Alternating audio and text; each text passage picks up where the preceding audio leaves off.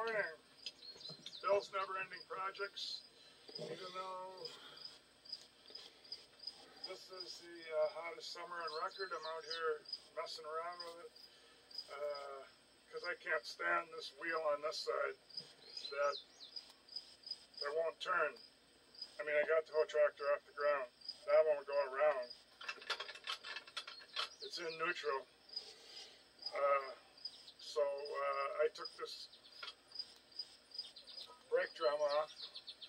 Brake cover. And I should have thought of it, but it's not a brake drum. It's just a cover to cover the brake drum. Cover to cover the brake drum. Anyway, I took that off yesterday, and uh,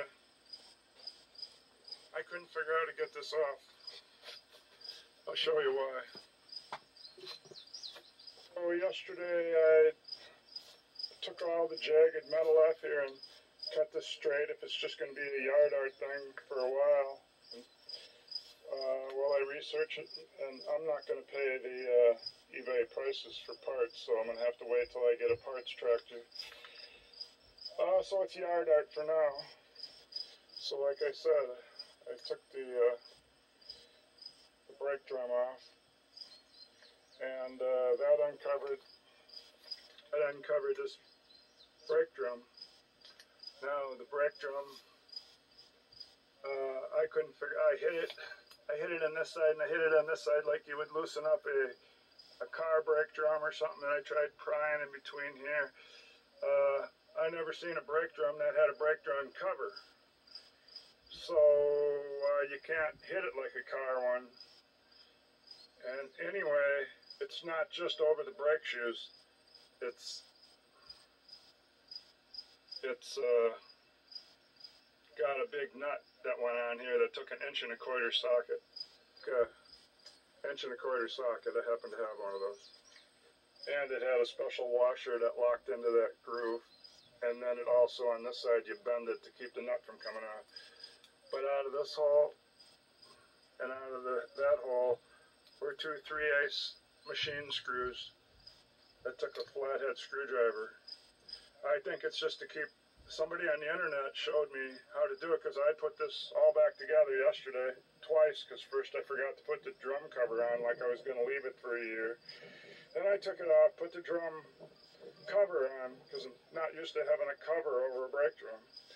I put that on. It looks like there weren't any bolts in here, but that's how they keep it on. They have a thing like that. The one on this side on the uh, drum cover uh, is broke off. So, I mean, it was just sitting on there with no bolts. So, sure, it fits tight enough where the overlap is right here that it would have stayed. Even plowing and disking in the fields, it would have stayed. So, so uh, I tapped out my topped out my spark plug holes, my $30 tool cam, and I was able to put them all the way in and added a little more oil. Uh, but anyway, I took the rough stuff off this wheel. That's all I started to do. Uh, because half of it was gone, but it left it all jagged. Now it's cut straight across on both the top and the bottom. And I actually don't even have it jacked up high enough to put a, a wheel and a good wheel if it went all the, all the way around on, but since half's missing, uh, I just make sure the missing part is on the bottom. But back to the brake drum. So now uh, I seen that the guy had a puller. He used those two holes, those two holes to put his puller in, and then this bolt went in here. So I really didn't look at what I I just knew I had this piece from a scrapyard I might use someday.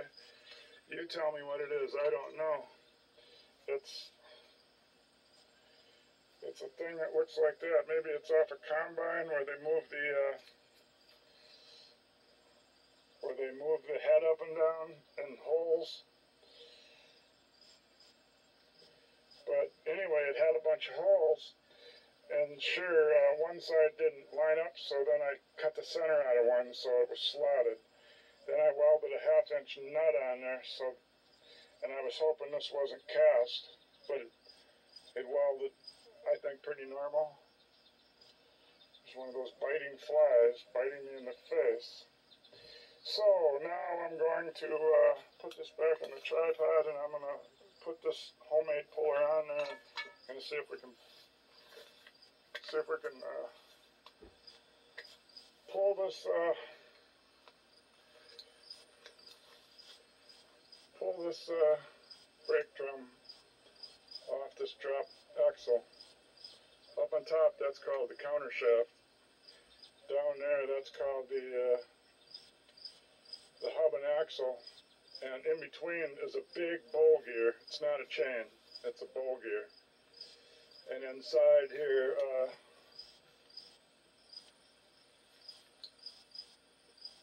uh, I would say this is the cover. I would say this is the cover that opens up the bowl right here on this side. And mine has a shaft sticking out of it. That's just supposed to be an end cap to cover up the uh, nut or something that holds the uh, axle in there, the drop axle. But somebody cut a hole in there and welded something on and made a shaft stick out so he could turn something, I suppose. I'm not sure what that is, because the other side, the other side is just, the other side is just a cap. Uh, right there, it's just a cap. There's no shaft coming out. So I don't know what that is, but I figure somebody made that. I don't see it in the part book anymore. Anyway, back to the brake drum. Okay. Uh, I, it was greasy. I had the idea to spray some PB Blaster on there myself, but it was greasy like that. Uh, I guess it's coming out of the, uh, the grease is probably getting from the differential. But anyway, let me get this homemade thing here. I didn't I didn't make this bolt pointed because I think I got it crooked. I think I got it well it looks pretty straight up and down, but it's not straight in that hole there.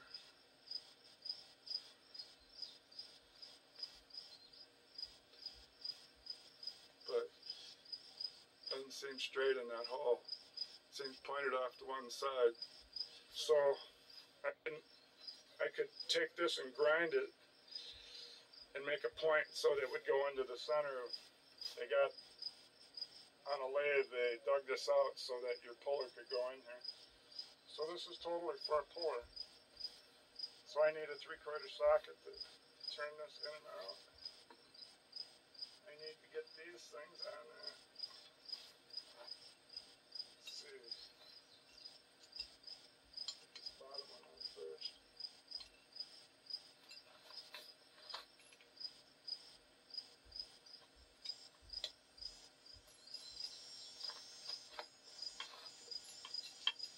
Keep track how many times I turn it so I know. You want it in far enough so you don't strip it. I turned it quite a few times. Uh, probably back it.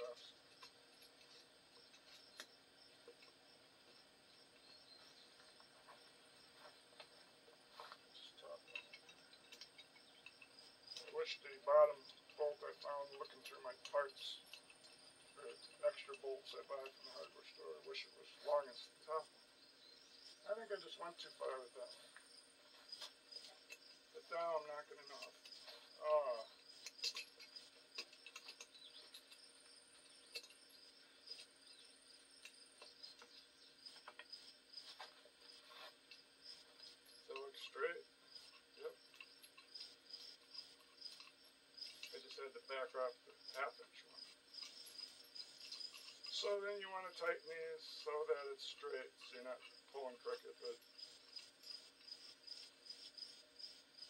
doing is I can't turn that uh, drop axle hub. So I want to see if this is stuck.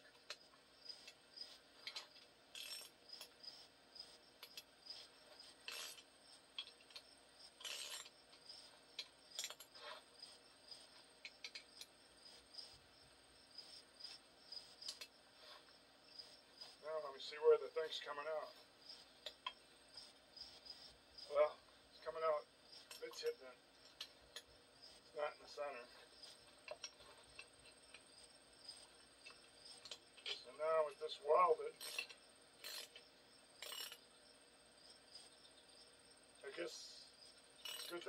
this weld nut on the inside. I would have to have longer bolts for the top. Okay, so I'm gonna start cranking. And I'm gonna see if it's gonna start pulling out. Yeah, it is. Okay, so it's not a big deal. It just needs this to do it because uh, I tried grabbing onto those uh, machine screws uh, that you take out to. Uh, I mean, they put them in to keep the dust out. It's not holding this on because it's got the the big nut. The big nut holds it on. So I tried to grab those machine screws when I backed them off a ways with the uh, with a regular flathead screwdriver, and uh, I couldn't get this to come out. So there's just because this puller makes it look easy. Let me get it right on there where I'm pulling it now. Geez, when I use the magnification of this uh, camera, I see where my bolt's hitting. It's way over on the edge. Hope it don't screw up the threads.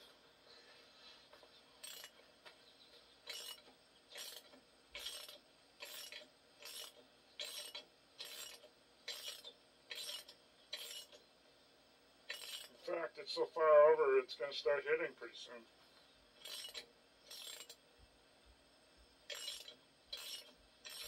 I guess it's just barely not going to hit.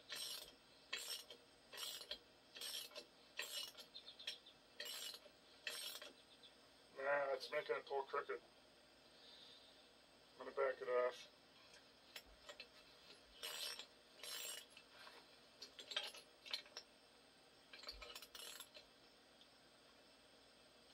Oh, maybe it's not.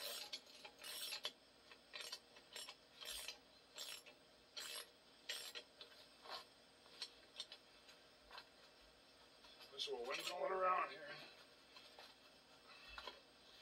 I tapped this bolt, but I'm running out of threads now. I mean, I used the die. So that's where my threads run out. So let me take this thing off and see. No, it's still holding. See. What do I gotta do now? Tap more threads on here? Uh,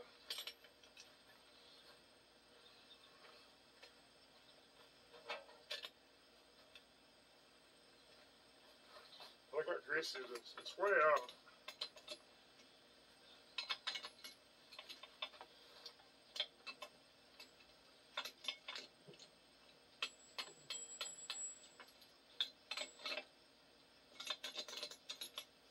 Well,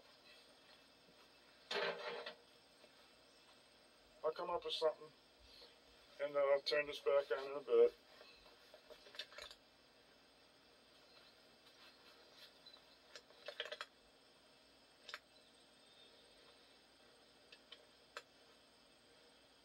Let me unzoom it there so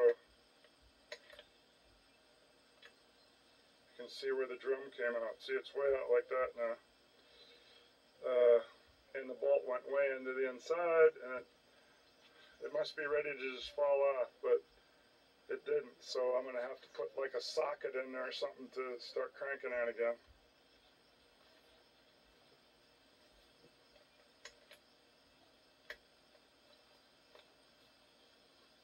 Okay, I found uh, some oven cleaner.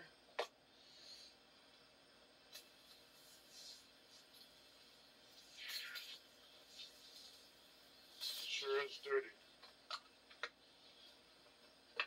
And I found a 19 millimeter socket. I mean, I just grabbed the first one. If it didn't fit, I'd have to run back to the building. But it went in there. Now I gotta hope the half inch bolt don't drop into the center of it. But since this wasn't lined up on the center very well, then it probably won't. Foam is covering up my hole.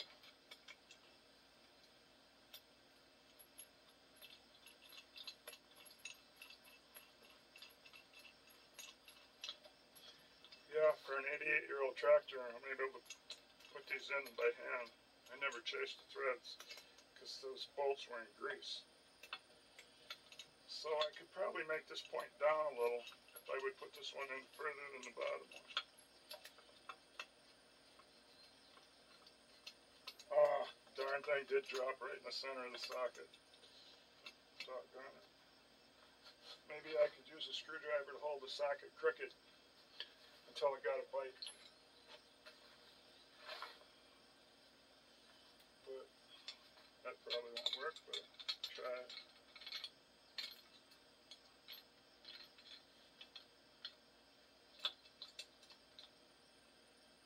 Yeah, it goes right to the center right away. Maybe I'll back this off a little bit so it's crooked.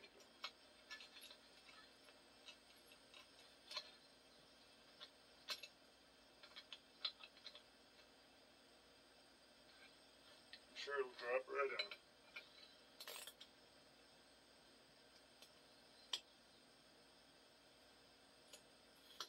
Yeah, goes right in the center. So I got to find a piece of metal like that that's solid. So back to the build. Okay, I came back with a stubby, about inch and a half, inch and a quarter, whatever it is, bolt. Wouldn't work too good, but I put the nut on it and that should fill up the hole a little better. I don't know if the nut part would go in. Well, that even does. I'll put the nut out so I have more to hit. Uh, suppose it'll be too long. Me back this off a little here. Where it hardly has any threads left. Not a good idea, but.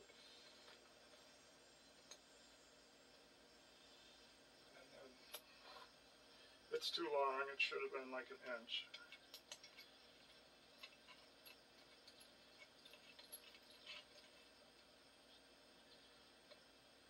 But it's almost out. I mean, maybe if this, I don't know that it was froze up, but that's what I'm trying to find out.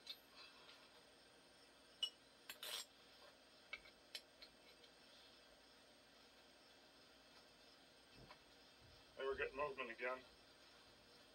There it is. Okay, it's off, and with all this white stuff on there, I can't really tell. I think maybe it's time to wipe that stuff.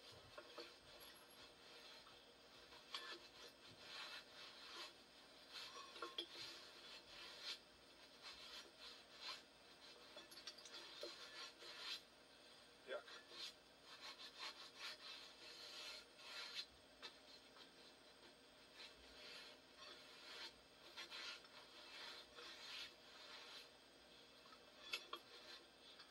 Okay. It's a little less oily to grip. Puller worked great.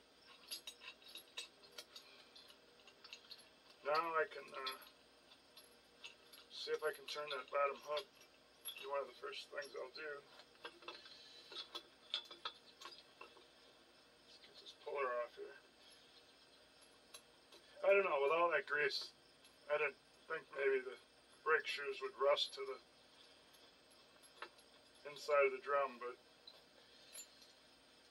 okay, so there's the puller again.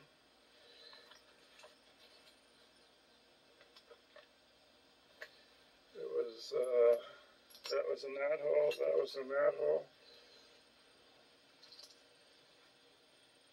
and then I welded that nut on, and that's what forced it off.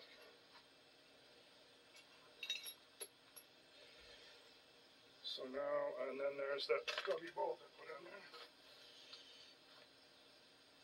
So let me set this puller down at work. That's done, done its job. Here we go. See what, if there's rust in there. Uh, no rust, it actually shines. It's reflective. So I imagine it's something in the tranny that's keeping it from turning. But I had to know. So let me try turning this again. Oh, it turns now. Hey, it was the drum. Uh, let me put this further down. I don't know if you were able to see it, but I don't have any leverage without the rim on for the wheel. So with no leverage, you, as tough as this was before, I wouldn't be able to do anything but look at it. It's turning. So it was indeed the brake drum keeping it keeping it from turning. I'll show you the greasy mess in here. But it must have been stuck on there, but it's certainly not rusty because it's a greasy mess. So now that turns. I turn this, that turns. And uh, I guess it's a matter of loosening up the brake shoes or something, but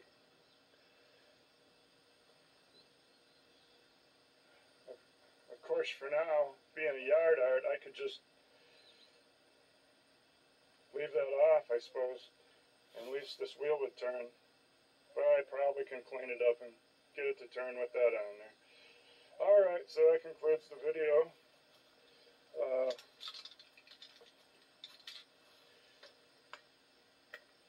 guess I could do another. I did mostly close ups of that wheel. It's the F 20 1935. And uh, there's my cans. I put one up there. I put an orange one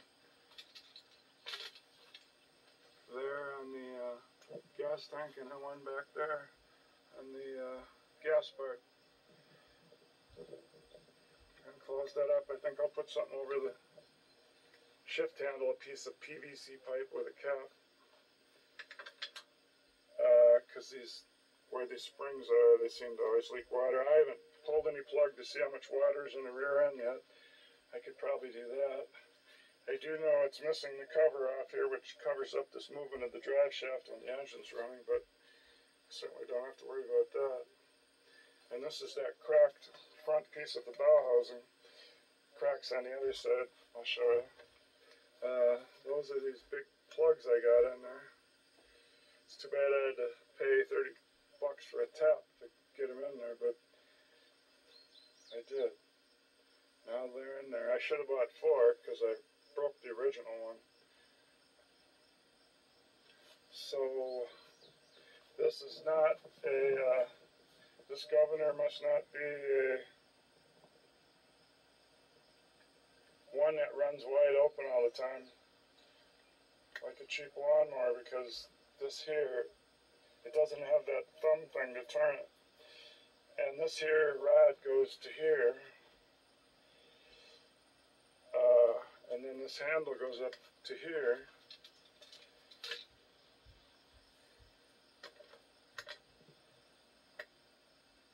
So it goes from there to here where it pivots down here. And this pivoting spot runs the other arm, so there's two arms, this flat one and this round one. And the flat one brings you up to the I see uh, a guy welded a little piece of must be stainless because it's not rusty. Look for a handle on there. Who knows? Probably in 1950 or this thing had to have been sitting since 1950 or 1960. so, 88 years old. I think it sat for about 60 years in a field fence row. And uh, originally from Muscoda, Wisconsin, the guy said that's where he pulled it out of a field. Uh, the guy hired him to clean up his yard, and he put this for sale for uh, about the price of scrap iron. He put it for 250 and that would have been I would have never been able to get it because this wheel wouldn't turn, and it, this wheel wasn't square, and all, every, that one had a rubber tire half off, and, and he had to pull it a bunch out of a he said a sand out of the sand. Uh, so maybe that helped it if it was sitting near sand. But these wheels are definitely toast. I can definitely uh, weld a new wheel on them if I had to, but there's my cans I put on there. And they still use the air cleaner oil part where you put the oil for a top to keep it out of there. But it just sits out here. It's my yard ornament, my backyard ornament. And, uh, oh yeah, there's the crack in that bow housing cover. So I went through a lot of parts that I would need a bow housing cover. And this is a part that I, I don't understand. These don't line up. This is the 90 degree linkage for the governor. And it doesn't line up with the carburetor. So somebody either put a manifold on here that's not right. And it's too low. Yeah, because this has to go downhill. This has to go downhill to reach it. The rest come out of there. Just like my spark plug holes were. But yeah, I can see red all over. Uh, when I took the wheels off, there was red. So this is a silver, silver tractor painted. It's a silver tractor painted red, where most all the uh, red's gone now, and now there's no red nor nor is there silver. So uh, I really don't know why. That has to be it. Somebody put a manifold on here that doesn't line up. But what manifold would fit on here that that doesn't? I mean, it would have to be some kind of a manifold that would line up with all these uh, spots in the head. So how could it not line up with the governor? Or, but the governor pipe over here, could that be bent? coming from over there. But I do know it has to hook to this hole and uh, and this mounting thing off the uh, manifold. So I don't know why that's not straight. And even if I bought a new one, there was one for 175 bucks on eBay. And even if I bought that one, that's not going to line up with this either. So I don't know either that governor's been moved or you can adjust it to be lower. I don't think they're slotted. I just really don't know. But I do know the people that try to get these running again take this 90 degree elbow apart and loosen it up. All right, well, that's the end of my third video on my yard my yard uh, art, Stay tuned. 1935. I found out why the wheel wouldn't turn. And I'm going to go in and uh, drop this on YouTube. Thanks for watching. Bonus footage coming up.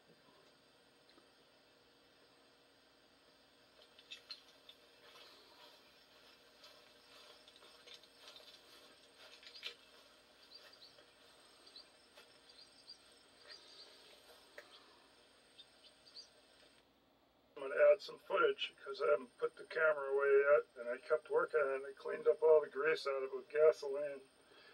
Put a drain pan here underneath it and it stuck in there and worked good to catch everything. And I used my parts cleaner brush and a little steel brush and I just kept going at it. And I kept thinking if it's not rusty, then then either this anchor pin is stuck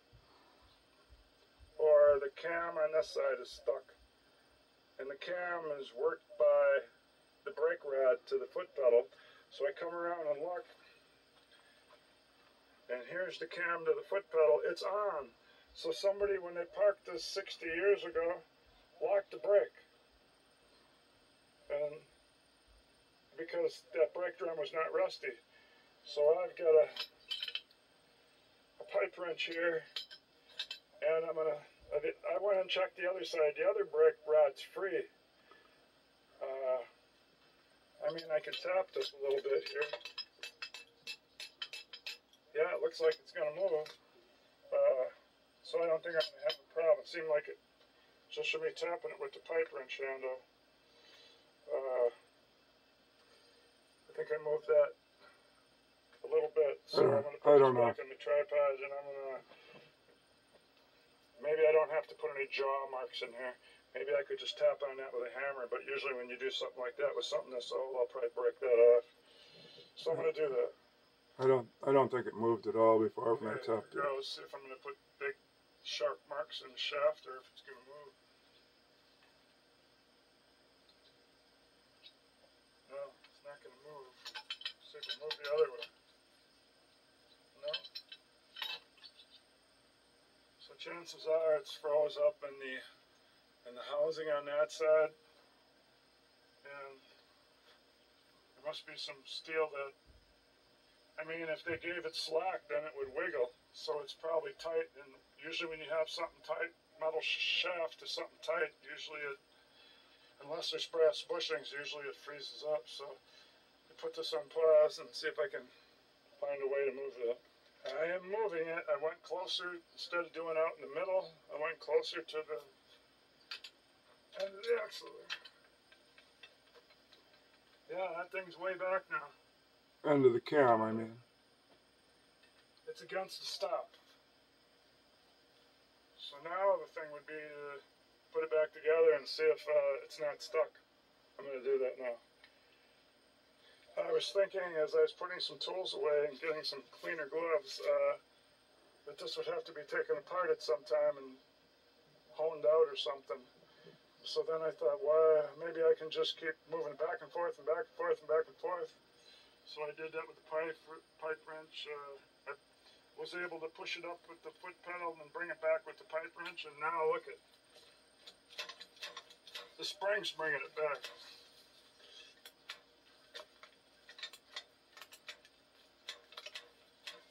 So this broken cable definitely goes to that brake, and it would go up and around to the steering column. So now Steering shaft up in front. this is free like the other one. Or Yeah, I see the other one. column. It springs back. This one springs back. Yeah, let me put it back together now. Yeah. So, if only I'd have known that, but this way I got to see how this is all put together. Uh, and and I guess it's always good out of doing something the hard way. Fully I'd have known that brake uh, shaft was stuck. But let's see if I put that on and it turns. Okay, it went back together where uh, after cleaning that stuff out of the brake drum, uh, not of the brake shoe area with the drum off, I mean, and then loosening the cam up. Uh, when I put the brake drum back on, it went on all the way. By just shoving it. As I pushed it in, it just pushed in all the way. And if there was something to grab, I could pull it right back out without a puller. So, uh, so now uh, I can turn my half a wheel.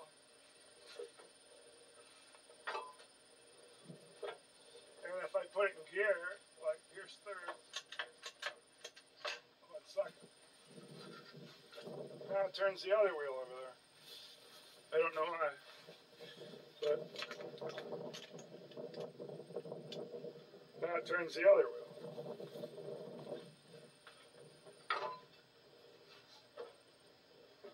Put in neutral. Put in neutral. Ah, sometimes the other one turns, but mostly it don't. So I got neutral. Uh, this wheel's off balance.